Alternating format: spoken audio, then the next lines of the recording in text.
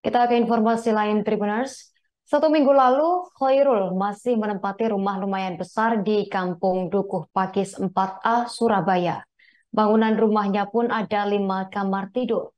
Ditambah lagi, ia memiliki aset lima kos-kosan, satu kamar kos per bulan disewakan seharga 1,2 juta rupiah. Tanggal 9 Agustus tempat tinggalnya disita Pengadilan Negeri Surabaya gara-gara perkara sengketa. Hidupnya lantas berbalik 360 derajat Juragan kos-kosan ini sekarang bersama keluarga untuk tempat tinggal harus menyewa kos-kosan.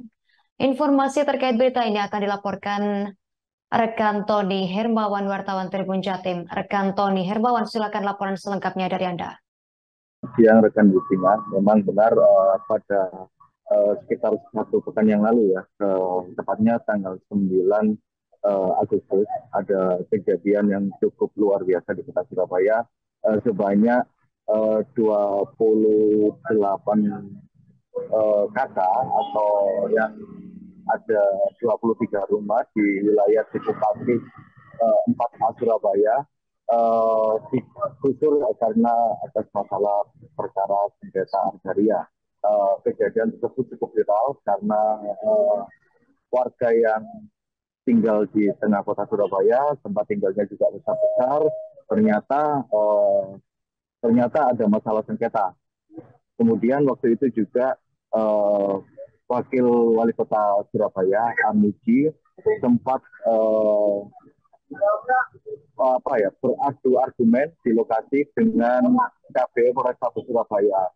Hal itu cukup viral karena uh, komunikasi mereka, percakapan mereka itu sempat uh, terjadi ketegangan. Nah, kemarin uh, pada tanggal 14 uh, selang lima hari dari kejadian tersebut saya mencoba untuk datang kembali uh, ke lokasi uh, lahan pembukaan tersebut. Ternyata ada beberapa warga yang mengeluhkan bahwasanya uh, setelah setelah proses eksekusi itu beberapa warga ada yang mengalami kehilangan harta benda. Uh, salah satunya uh, seorang bapak bernama Khairul yang sudah saya berhasil wawancara mengatakan kalau kehilangan dua burung.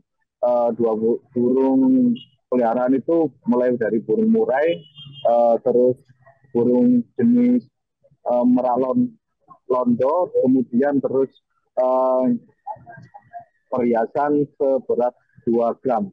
Kemudian seorang ibu uh, dari korban yang lain juga mengalami uh, hal yang serupa. Beliau kehilangan uh, uang arisan sebesar satu juta dua ratus yang mana buku arisan itu masih tersimpan rapi di lemari akan tetapi uang tersebut uh, hilang.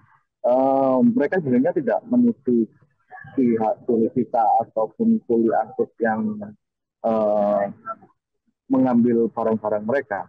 Namun ternyata setelah dari proses eksekusi itu faktanya barang-barang mereka uh, hilang mereka juga menceritakan kalau uh, proses eksekusi tersebut berjalan secara cepat ya, uh, di mana waktu itu uh, warga mengetahui uh, rumah mereka akan dieksekusi uh, saat satu minggu sebelum kejadian.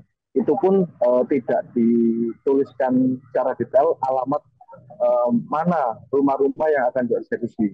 Uh, jadi pemahaman warga waktu itu uh, pagi itu tanggal 9 pihak kita dari Wali Surabaya datang untuk menyegel rumah. Hanya itu saja pengertian mereka. Akan tetapi uh, ketika pihak kita datang ke pengadilan uh, kita pengadilan Surabaya datang ke lokasi tersebut, ternyata semua penghuni rumah diminta untuk keluar lalu untuk uh, mengamankan barang-barang. Dan itu berlangsung sangat cepat, uh, banyak sekali juru angkut dari juru kita ini yang membantu secara serampangan.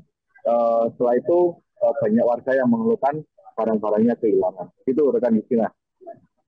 Baik, rekan Todi Hermawan, wartawan Tribun Jatim, terima kasih atas laporan Anda. Selamat bertugas kembali. Ya pemirsa, berikut kami tampilkan wawancara wartawan lapangan kami bersama salah seorang penghuni, Aan. Yang hilang, Barang saya hilang itu burung. Burung. Dua. Yang Hmm. pertama itu burung sikatan londo, yang Mm-mm. kedua murai batu, sama perhiasan kalungnya anak.